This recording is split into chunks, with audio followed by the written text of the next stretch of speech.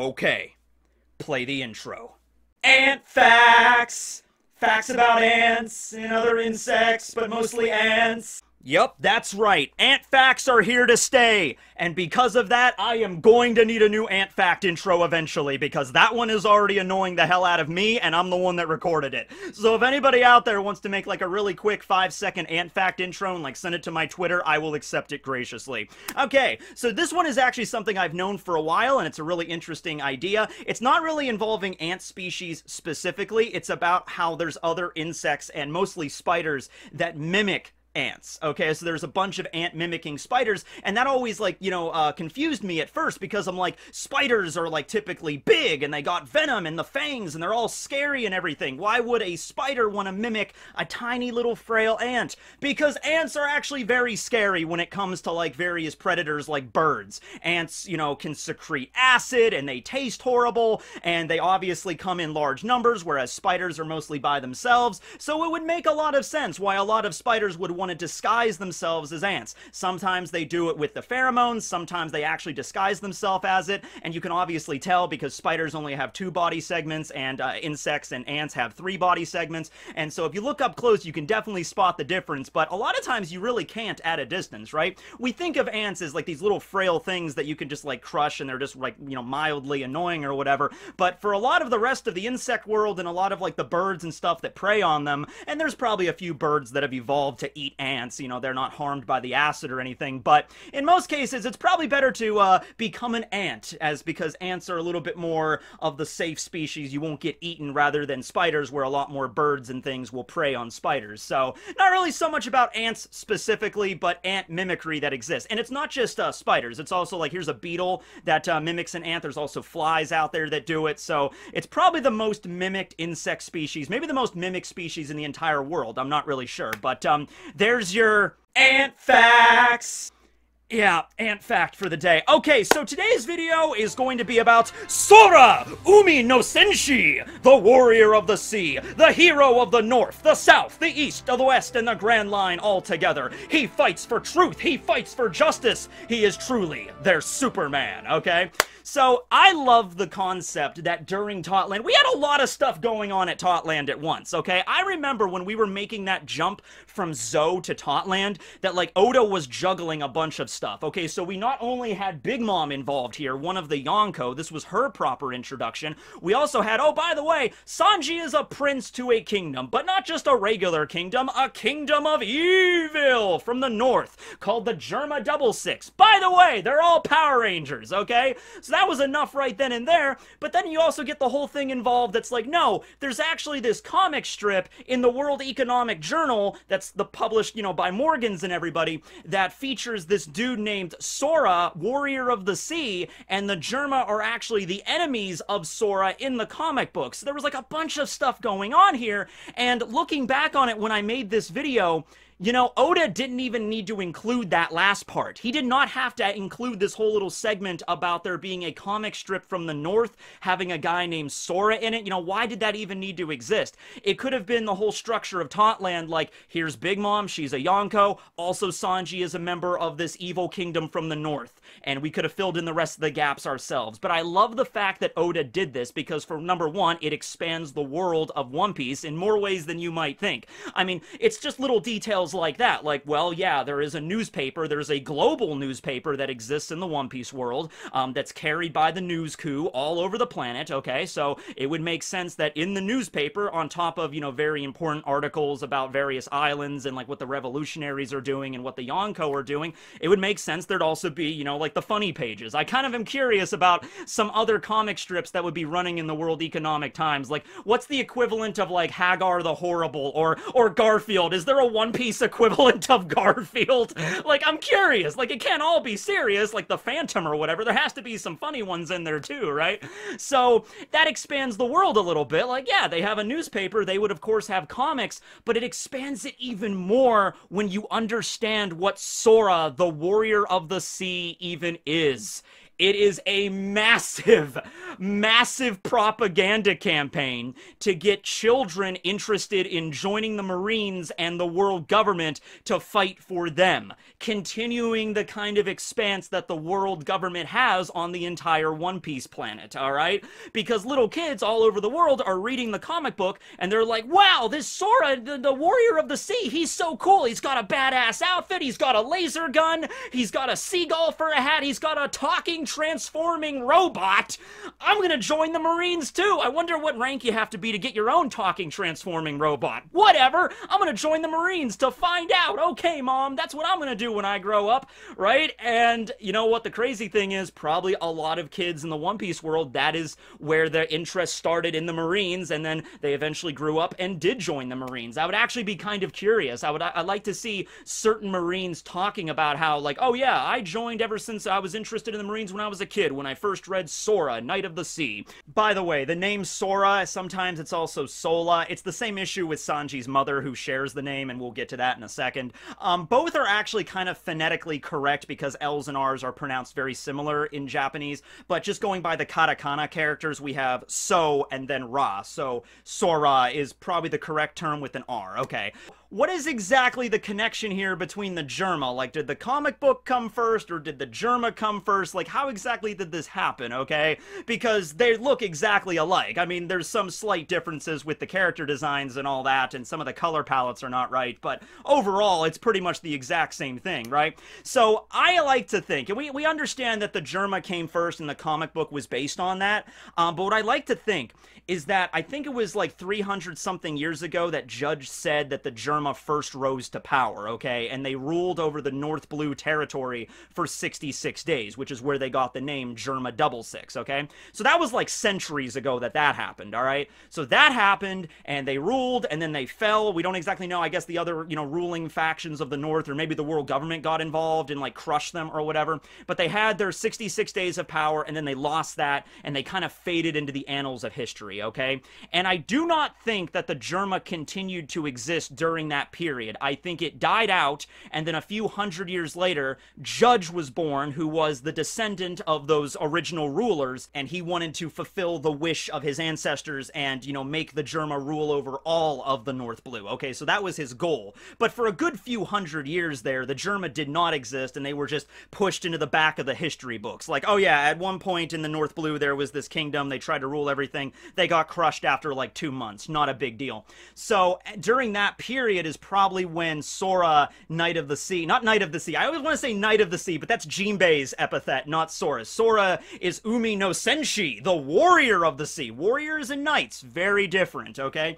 But that's probably when, I don't know if it was Morgan's or maybe the previous editor of the World Economic Journal. I don't know how long it's been published, but everybody seems to apparently know about it. Um, it's important to mention that even though it was said that the comic existed in the North, it's printed in the World Economic Journal. So unless that Morgan's publishes different issues for each of the four blues, which I guess is possible, here's like the North Blue edition, here's the East Blue edition, but it seems to imply no, it's just one edition that is sent all over the world, okay, with the News Coo providing transportation. So with that being the case, it might have been that the Sora uh, Warrior of the Sea comic is the most popular in the North because that's rooted in their history history. So the people of the North Blue, probably more than the rest of the people in the world, know about the Germa. And so when they started reading Sora, they're like, oh, okay, it's rooted in our history. That's nifty. So they're the ones that like it the most, but it's also published all over the world, probably inspiring uh, with propaganda all these other Marines and young members of the world government, you know, all over the place. Okay, so that's kind of the situation we have there. Um, Vito, a member of the Fire Tank Pirates, is a huge fanboy of the Germa. There was even a filler episode when Luffy and Brook were getting dressed at Bege's Manor on uh, Whole Cake Island when they're looking for a thing to wear, and then Luffy pulls out literally a, a cosplay of the giant robot. I don't think the giant robot has a name. It's just a giant transforming robot. It can, you know, um, you know, spawn ships for feet, and it can sail around the ocean, and it can turn into like a jet ski, and then Sora's riding around on it, taking out his laser gun, like shooting down the members of the Germa. You know, it's a really interesting kind of concept. Like if anime were to exist in the One Piece world, Sora would have probably the best numbers there. Sora might be the One Piece of the One Piece world in terms of like readership or whatever. Who knows, right? And so, yeah, I mean, like, if you're going, if the world government is going to sit down and come up with a concept to be like, okay, we need an aspiring figure. We need like a Superman kind of character here that uh, all the kids of the world are going to read about and get them interested in joining the Marines. We want to instill in them at a young age that the Marines are objectively the good guys. The world government is objectively good and they fight for justice, okay? So they had a little bit of a flair here. You know, it's like, okay, well, we got to have him have a really cool outfit. I'm like, all right, so give him a really cool outfit. Uh, what else do kids like? Uh, Ray guns. Give him a ray gun. I'm like, all right, he has like a, a blaster gun or whatever, a blaster pistol like Han Solo. That's pretty good give him a seagull companion and give him a seagull on his head because the seagull is the universal symbol of the Marines. So, like, every day when the kids open up the paper, they see, you know, Sora with the head of a seagull and they're like, oh, that's the Marines right there. Also, the symbol that Sora has on his uh, outfit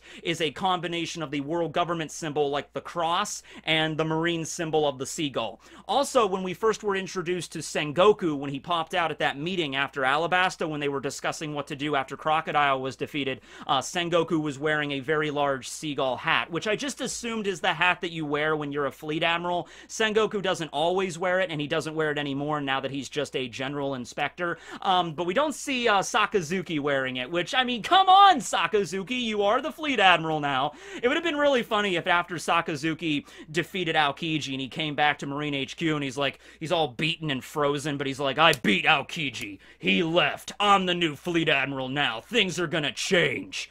And then Sengoku walks up to him just eating crackers and he's like, That's cool. Here's your hat. He's like, I'm not wearing that. And he's like, You got to, man. You're the fleet admiral. things are gonna change around here. You know, okay, that would have been pretty funny. But that's Sora's outfit, okay? So he's got a seagull companion, and he the last the last touch there was like, oh, he needs something else, something else for the kids. We need some merchandise for them to buy, also, you know, to give us money. So it's like, let's let's uh, give him a robot companion. I'm like, okay, he has a robot now. It's cool, and the robot can transform.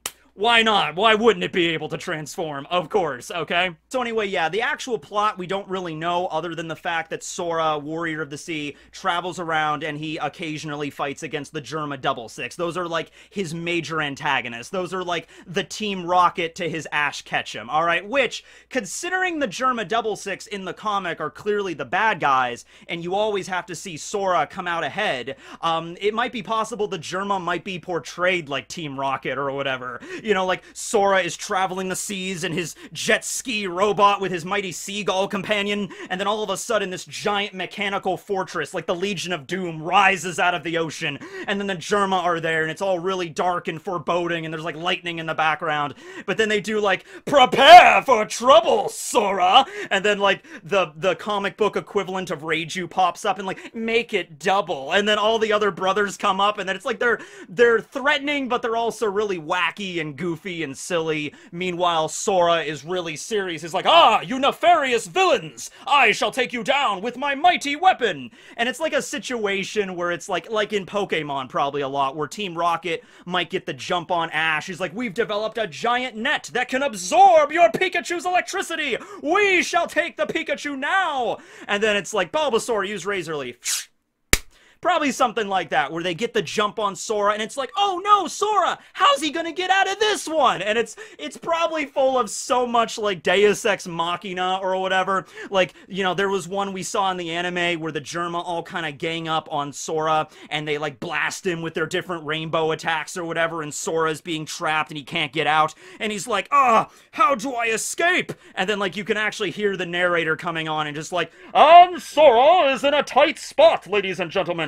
Thankfully, he remembered to eat his Wheaties this morning, brought to you by the world government, so he was able to fight back by the power of a balanced breakfast. And, you know, he defeats all of the Germa. That is probably the bullshit that happens in the comic, if we're being straight up. It's like, every week, it's probably very repetitive. Every week, the Germa come up with some new super weapon, like, we've developed an anti, we've developed an EMP to defeat your robot. But it's like, thankfully, the robot is plated with, uh, um, uh, world governmentium, the strongest metal on the planet that can only be, you know, acquired if you join the world government, so you better today. You know, it's probably some crap like that. Probably not written very well, but the point of it is not to have a really great story. The point of it is to get people to join the Marines and be as awesome as it can along the way. There's probably a whole toy line of Sora and his robots and whatever.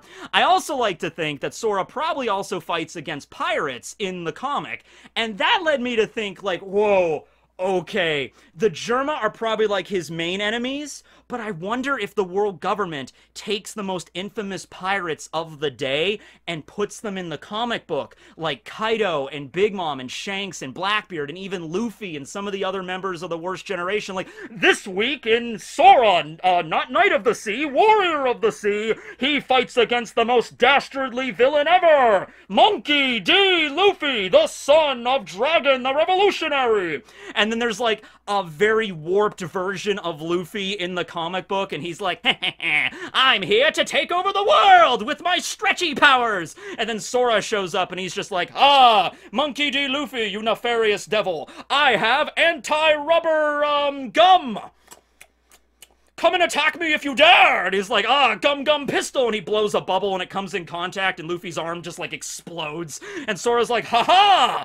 Bam! And then defeats Luffy with one punch, and that's like the end of the comic for that week. There's probably additions where he fight the Kaido arc, the Big Mom arc, you know, where Sora single-handedly invades Totland and he defeats all of um Big Mom's children. He's there, and it's like a little caption at the very end of it that's like, you could be the Marine that like this is just just a dramatization. The true nefarious Big Mom still lives, and you could be the Marine to join today and stop her plans. You know, and at the bottom of every comic, there's like a little Den Den Mushi number, you know, call the recruiting hotline for the for the Marines and the world government today. It's very similar to the way actual comics probably worked in our world during the time of like World War One and World War Two. Like World War One, there was a lot of American comics that like just did nothing but shit on the Kaiser, you know, Kaiser over in you know Germany. During World War War II, we had all the Disney animations that existed as like newsreels that would play before movies. So the way people would get news back then is, you know, they, not everybody had a television, they had radios,